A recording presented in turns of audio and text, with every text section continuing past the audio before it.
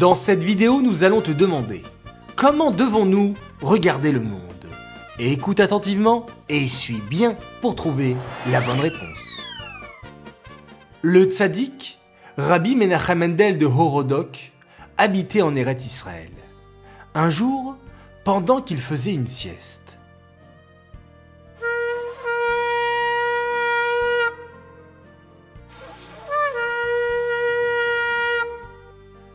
Machiach C'est le son du chauffard de Machiach Machiach est arrivé Comment le sais-tu? Tu n'as pas entendu ce son?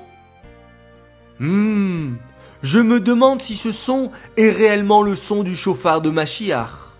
J'ai la chance d'habiter dans la même maison que le tzaddik Rabbi Menachem Mendel de Horodok. Il saura si c'est le chauffard de Machiach. Je vais regarder s'il est dans sa chambre. Quelqu'un est rentré? Comment puis-je t'aider? Désolé de déranger, mais il y a une personne dehors qui dit que Machiach est arrivé. Est-ce vrai? La Géoula est-elle arrivée? Le Machiach est arrivé?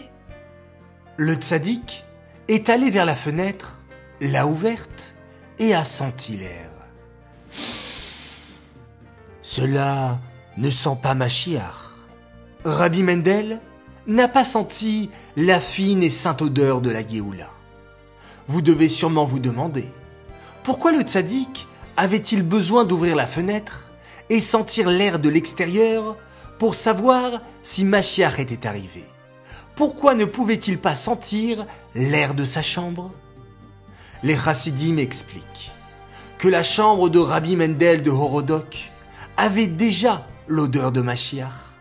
C'est pour cela qu'il avait besoin d'ouvrir la fenêtre et sentir l'air de l'extérieur pour savoir si, dans le reste du monde, il y avait également l'odeur de Machiach.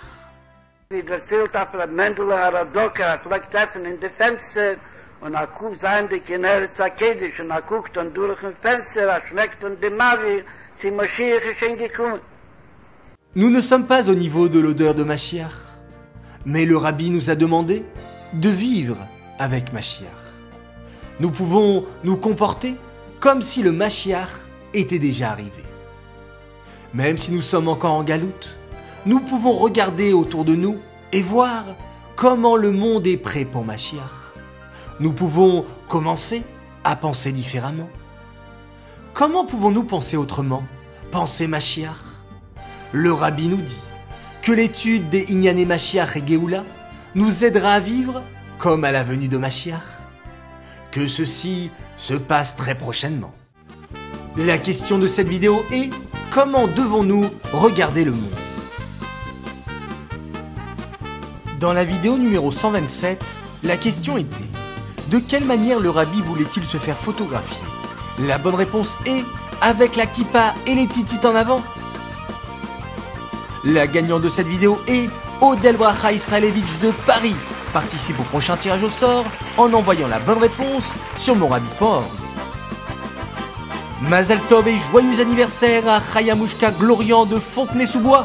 Nous te souhaitons une année pleine de réussite, des Gashmiut et Beourchniut, que tu puisses être une soldate fière de Tivot Hashem en donnant beaucoup de nachat au Rabbi et en rapprochant la venue de Mashiach.